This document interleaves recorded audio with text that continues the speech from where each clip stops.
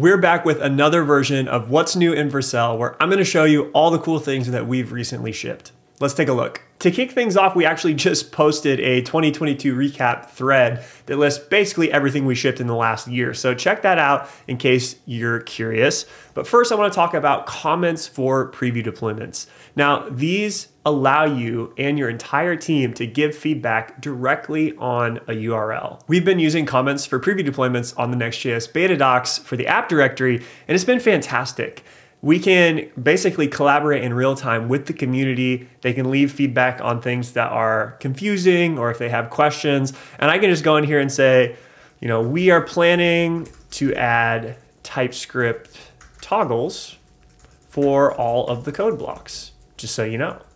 And I can respond back here. If I wanted to, I could leave a, a custom reaction on here. I can use custom emojis from our connected Slack account, which is pretty cool. And then I can resolve this comment if I want. So this has been super helpful for us to uh, iterate with everyone in public and get feedback on the docs. And it's now available, generally available for Vercel. Next up is protected preview deployments. So with deployment protection, you can make your preview deployments secure for free across all plans. So for example, let's say I wanted to lock down the previews for leerob.io. I can just pop into my settings here and enable Vercel authentication so that when a visitor views my preview deployment, they gotta log in with Vercel.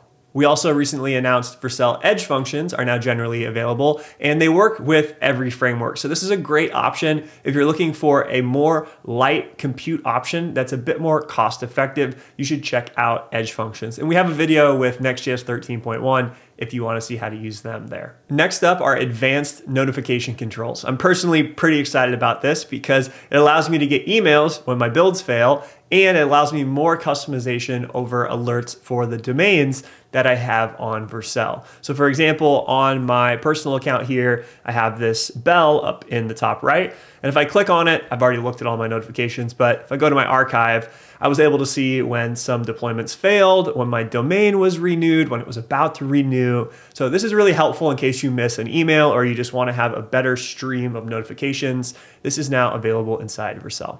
Another small but impactful quality of life improvement is being able to link and share build logs. So if I'm on a deployment and I'm looking at the build logs and maybe there's something in particular I want to send here, like this to here, I can now click and I can optionally use shift click if I want to do multiple lines and it updates this URL. So I can take this and if I were to send this to a coworker and they land on this page, it's going to actually scroll down to this specific build log. Next, we have Edge Config. This is a brand new product that we've released that's in public beta. It's actually our first storage product. Now, this is a unique storage product. It's not a database. It's not a key value store. It's a data store specifically for configuration data and JSON data. So I'll just show you because I think it's easier to see that way. Inside of a new project I'm working on, I went over to the Edge Config tab and I created a new store.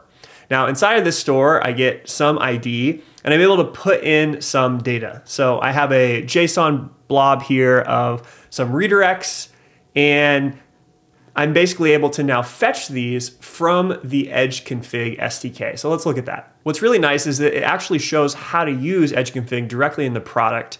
So you can pull down the environment variable that allows you to connect to this store you can use the SDK, you can npm install it, and then you can actually consume that in code and check out the API reference. So really it looks something like this. You have a couple different methods that you can use like get has and get all. In this instance, the name of my key is redirects. So I'm gonna get redirects. I could check if redirects exist, for example, or I could get multiple keys. It's pretty simple, but a very powerful configuration store that can be used for A-B testing or experimentation or many different things. So check it out and let us know your feedback. All right, get ready. I'm gonna do a rapid fire round here as we fly through a bunch of updates. You can now deploy VuePress and VitePress sites to Vercel with zero configuration using these frameworks. We released SWR 2.0, which is a library that makes it easy to fetch data and React on the client side. There's a new version of Nextra 2.0 that makes it easy to use MDX with Next.js. SvelteKit 1.0 came out. We made a whole other whole other video on that on the channel if you want to go check that out. We made an image gallery to showcase all of the awesome photos from Next.js Conf. It's got some really cool features like being able to navigate with the keyboard and some nice animations. Kudos to Hassan for making this. It's great. You can clone and deploy a version of this if you want. We wrote a bunch of different things on our blog, including this awesome example of how to migrate a React and Express application over to Next.js. I'd recommend checking that out or just anything on the blog. And we also published some really cool customer stories highlighting some amazing customers. I think the one that I liked the most recently was this new one about Scale. Scale is a really cool company. So go check these out and let us know your feedback on all the things that we've recently shipped.